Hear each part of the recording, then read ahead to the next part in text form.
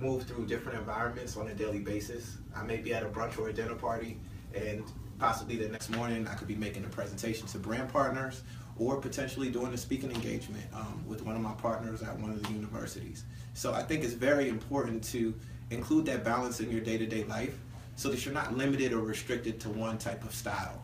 For me, naturally, I'm not wearing a suit or streetwear um, all the time or exclusively a suit or streetwear 100% of the time. I'm actually a hybrid depending on where I'm going. It could be 50 50. So I think that you should be comfortable where you're going and you should tell your own style intrinsically and display yourself with a certain level of uh, distinguishment and class, um, whether you're in a suit or you're on the block. And um, you know, my blog and my story is to, you know, tell that transition to my followers.